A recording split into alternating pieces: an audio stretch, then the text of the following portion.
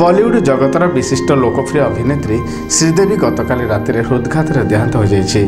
ମୃତ୍ୟୁ ବେଳକୁ ଚଉବନ ବର୍ଷ ବୟସ ହୋଇଥିଲା ଶ୍ରୀଦେବୀଙ୍କୁ। ଭରଦାଙ୍କ ବିବାହ ଭୋଜିରେ ଯୋଗ ଦେବା ପାଇଁ ସ୍ୱାମୀ ବେନି କାପୁର ଏବଂ ସାନ ଝିଅ ଖୁସିଙ୍କ ସହ ଅଭିନେତ୍ରୀ ଶ୍ରୀଦେବୀ ଯାଇଥିଲେ ଦୁବାଇ। ହସ ଖୁସିର ମାହୋଲରେ ଦିନଟି କଟିଥିଲା ଆଉ ବାକି ଥିଲା ରାତିର ଖୁସିକୁ। ହେଲେ ହଠାତ୍ ରାତି ଏଗାରଟା ତିରିଶ ମିନିଟ୍ ସମୟରେ ଶ୍ରୀଦେବୀଙ୍କର ହୋଇଥିଲା ହୃଦଘାତ। କେହି କିଛି ଜାଣିବା ପୂର୍ବରୁ ତାଙ୍କର ହୋଇଯାଇଥିଲା ଦେହାନ୍ତ। ଶ୍ରୀଦେବୀ ବଲିଉଡ୍ ଜଗତରେ ପାଦ ଥାପି ନିଜର ପରିଚୟ ସୃଷ୍ଟି କରିଥିଲେ। ଉଣେଇଶହ ତେଷଠି ମସିହା ଅକ୍ଟୋବର ତେରରେ ତାମିଲନାଡୁର ଶିବକାଶୀରେ ଜନ୍ମଗ୍ରହଣ କରିଥିଲେ ଅଭିନେତ୍ରୀ ଶ୍ରୀଦେବୀ।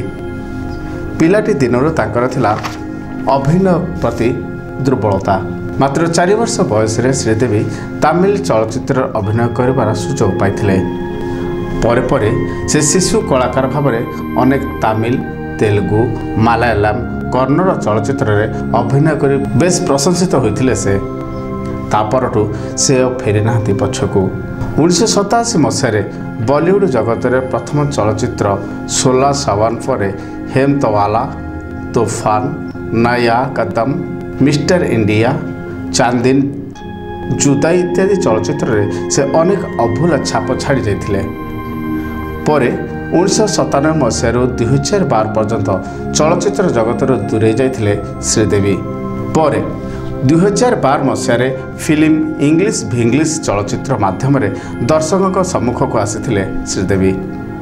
ତାଙ୍କର ଜୀବନ୍ତ ଅଭିନୟରେ ଲକ୍ଷ ଲକ୍ଷ ଫିଲ୍ମ ପ୍ରେମୀଙ୍କ ହୃଦୟରେ ସେ ତିଆରି କରିଥିଲେ ସ୍ୱତନ୍ତ୍ର ସ୍ଥାନ। ଦୁଇହଜାର ତେର ମସିହାରେ ବଲିଉଡ ଜଗତରେ ଶ୍ରେଷ୍ଠ ଅଭିନେତ୍ରୀ ଭାବରେ ଶ୍ରୀଦେବୀଙ୍କୁ ସମ୍ମାନିତ କରାଯାଇଥିଲା ପଦ୍ମଶ୍ରୀ ସମ୍ମାନରେ। ହେଲେ ଆଜିଠାରୁ ବଲିଉଡ ଜଗତରେ ଯେଉଁ ଶୂନ୍ୟସ୍ଥାନ ହୋଇ ରହିଗଲା ଯାହାକୁ ଆଉ କେହି ପୂରଣ କରିପାରିବେ ନାହିଁ। ଏପରି ଦୁଃଖଦ ଖବର ପହଞ୍ଚିବା ପରେ ବଲିଉଡ ଜଗତରେ ଖେଳିଯାଇଛି ଦୁଃଖ ଆଉ ଦୁଃଖ। Bureau report metro TV.